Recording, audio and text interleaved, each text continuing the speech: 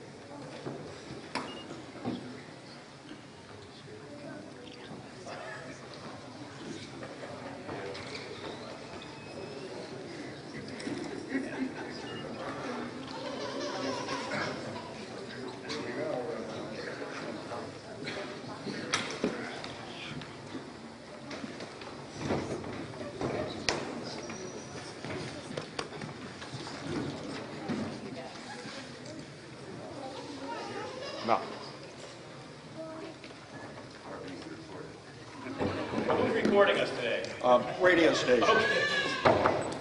No problem, just wanted to secure.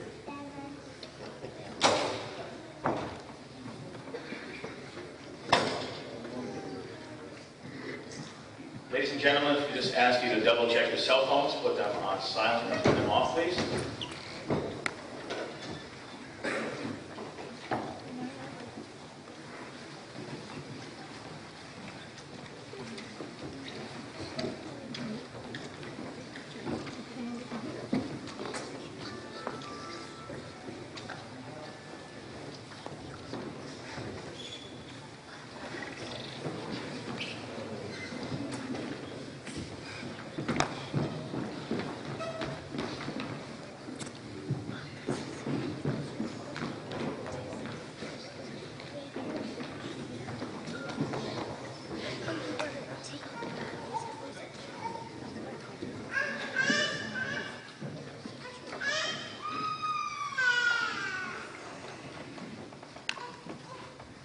Good morning, ladies and gentlemen.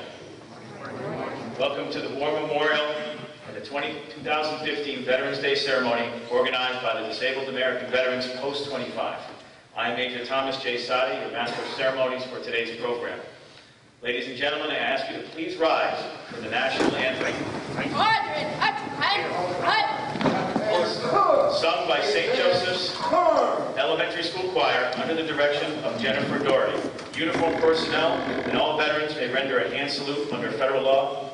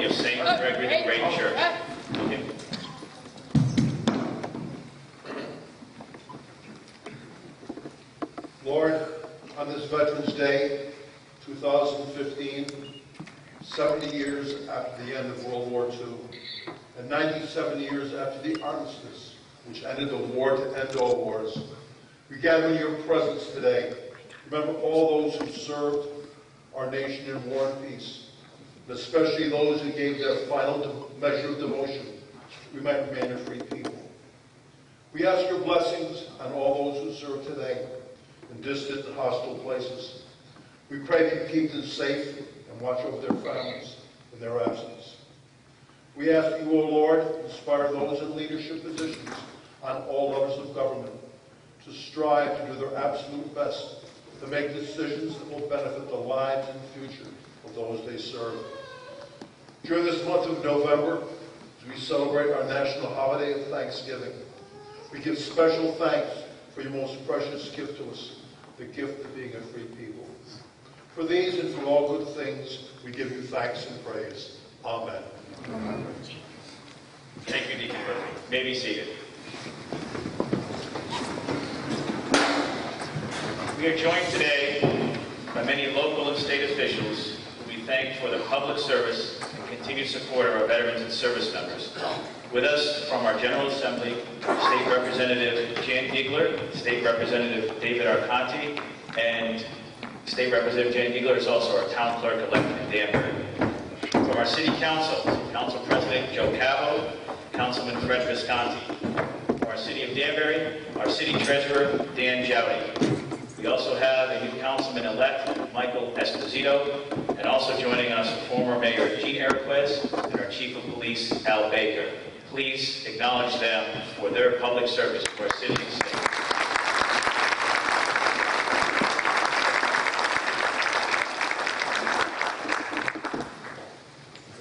I'd like to call on the commander of the Disabled American Veterans Post 25, Harvey Strode, for some remarks. Commander? Good morning, everyone, and thank you for attending this. It's a great honor for the DAV to represent the Veterans Council of Danbury. I would like to introduce my Senior Vice Commander George Smith. We have tried to put on a program that was worthy of uh, this day. I can tell you that my great-grandfather served in the Spanish-American War, my grandfather in World War I, my father in World War II, me in Vietnam, and my son in Iraq. That is five generations.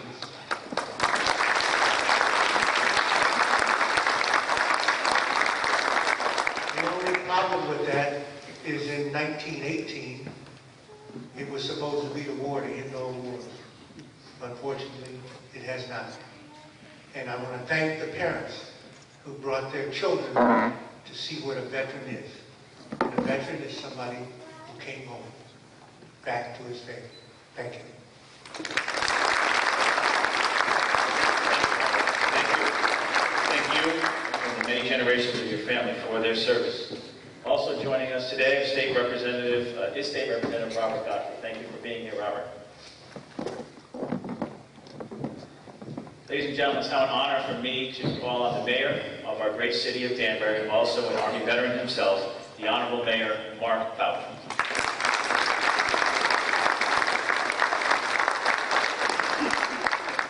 Good morning, and thank you, uh, Tom, for all your hard work, um, both here uh, in Danbury, and uh, working with our veterans, but also uh, on your state post. Uh, For those of you who don't know, Tom uh, doesn't necessarily like to shout from the rooftops, but I will, because we're so proud of him, but he works very closely with the Department of Veterans Affairs and serves as their legislative liaison, and it's a new position for him, so congratulations to you. Thank you for looking out for Connecticut today.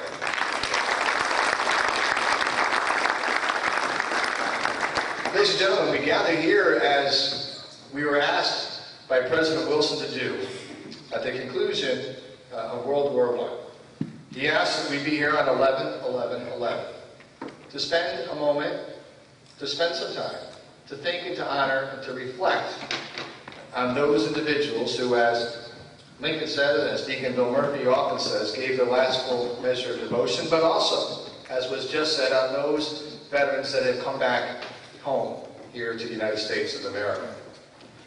We have done this for the last 80 plus years. So it's important that you're here this morning to take a moment to think about the things that President Wilson asked us to think about.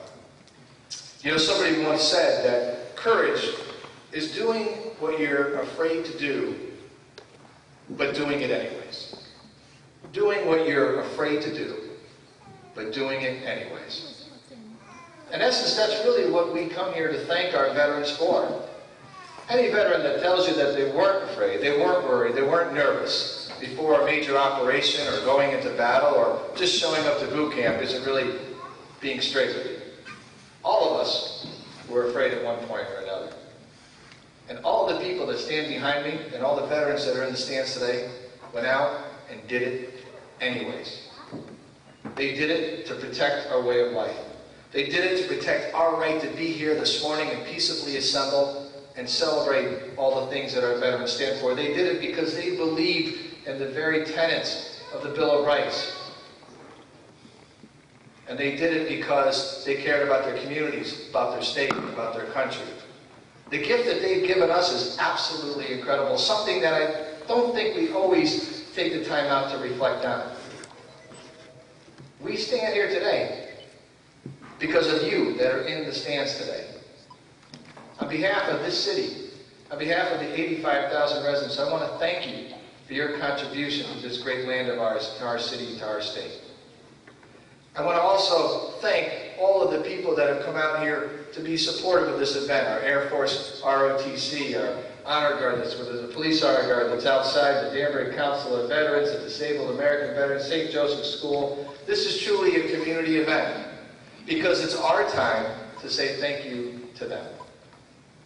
Now, unfortunately, we have many veterans that are coming back from a myriad of different conflicts that span the globe. Men and women today, right now as we speak, are deployed all over uh, this world that we live in. Just recently, one of our police officers came to see me and said, Mayor, I've got to go back and, and do another tour. This will be his third tour in Afghanistan. Three tours in a very, very dangerous place. But you know, he didn't come in and he wasn't nervous. He, he, was, he wasn't mad about it. He was proud to serve our country. He knows the risks. He's afraid, but he knows that it has to be done by somebody. That is true courage that we celebrate today. That is an honor that it gives to me to stand here before you and thank them. So on behalf of the City of Danbury, I want to thank every single veteran that's out there. I want to encourage you to reach out to those new veterans that are returning. They are struggling with a myriad of different issues, from housing to homelessness and to reintegrating into society. And I want you to take a moment over the next year, to next Veterans Day, to do one thing. Just do one thing to help a veteran around you in some way. We live in the greatest nation on earth. Don't you ever forget that. Don't you let anybody ever tell you any different. It's because of the veterans that are here today. May God bless you. May God bless our great country.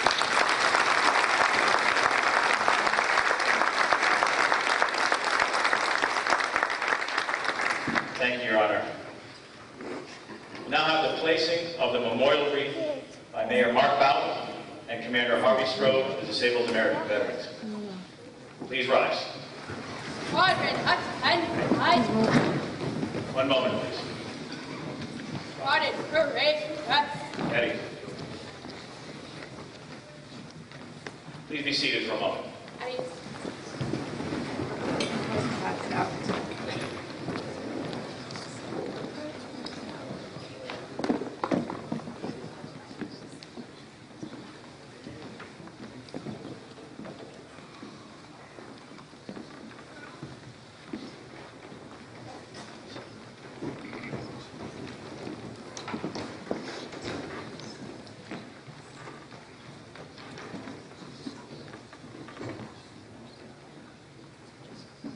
Let's give him a round of applause. What do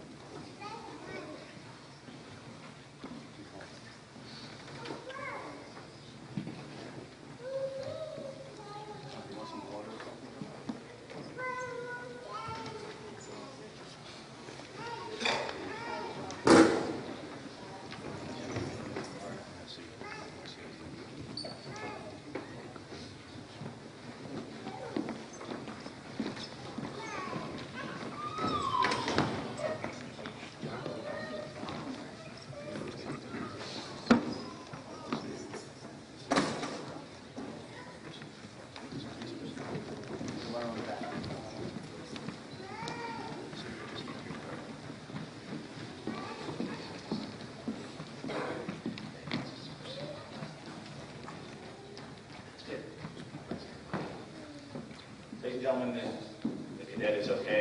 EMT will be arriving. We're going to proceed with the program. So if I ask you to please rise.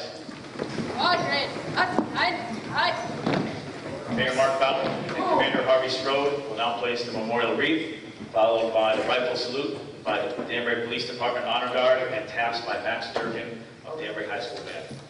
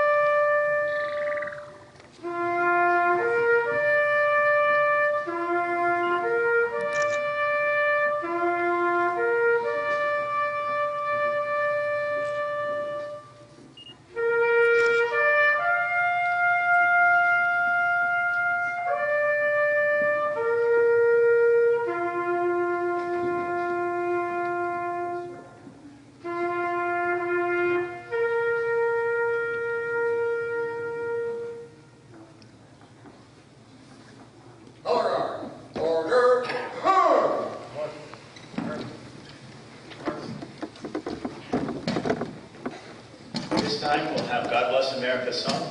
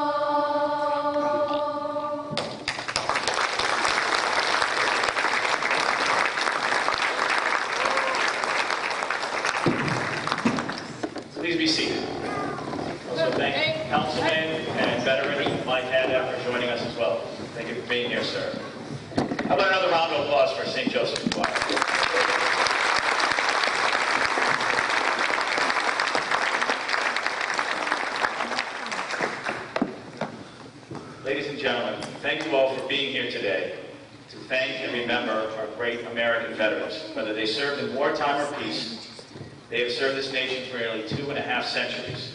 Just yesterday, you know, an Army guy acknowledged it was the Marine Corps birthday, 240 years. How many Marines are here? Raise your hands. Happy birthday, Marine Corps.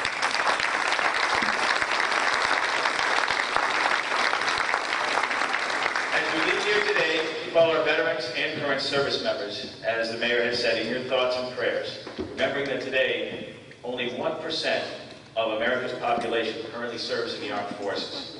To those currently serving, we thank you and we thank your families, because without the families, veterans would not be able to have oftentimes the courage and strength, not only to serve, but to be able to come home, to survive, and to continue to thrive and to contribute to our community. A special thanks to our participating veterans organizations, the Danbury Council of Veterans, Disabled American Veterans Post 25, American Legion Post 60, VFW Post 149, Marine Corps League Hat City Detachment, and the Korean War Veterans Association. Also, special thanks to the Danbury Police Department Honor Guard for their participation, St. Joseph's Choir, the Danbury High School Air Force Junior ROTC program. Finally, please remember two upcoming events. On Friday is the Vietnam commemoration ceremony at 10 a.m. Friday in front of the Vietnam Monument here on the War Memorial Grounds. And on Monday, December 7th, it's Pearl Harbor Day. 10 a.m. Ceremonies will be held here at the War Memorial inside the gym. Is there anything else, Commander Strode? Thank you. Yes. Following the ceremony, both the American Legion and the Disabled American uh, Veterans Post will be hosting lunches for veterans. Uh, The the American Legion also uh, will have food for guests, but at a uh, at a minimal charge. That's immediately following this ceremony. Thank you again for being here. Now I ask you to rise Deacon Murphy in the delivery of the You gotta go benediction. work it. You gotta go work it. Lord, as we go our separate ways on this Veterans Day, we pause again to remember all those we honor today. Lord God, we give thanks for all those who have served our nation in war and peace. Remember in a most special way those who made the ultimate sacrifice in order that freedom continue to be ours.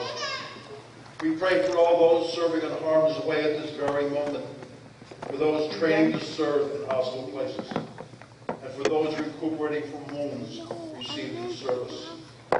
Help us to never forget the sacrifice of those we honor today. We ask your blessings on all who are gathered here today. Guide us safely home and give peace to our troubled world. Amen. Thank you, Deacon Murphy. Thank you all for such a great showing here today. God bless and Godspeed.